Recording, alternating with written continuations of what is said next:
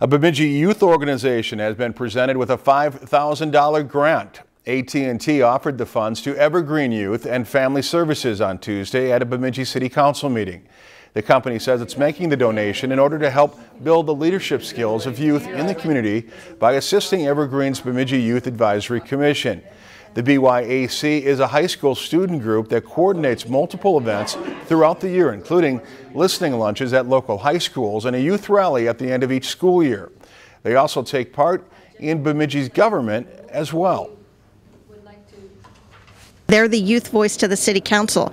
So there's a BYAC member who has a standing seat at city council meetings, and there is a BYAC report on every city council agenda. That's what we really look at is just again developing youth in a way that they can um, get the skills that they need to continue to participate and grow into productive individuals.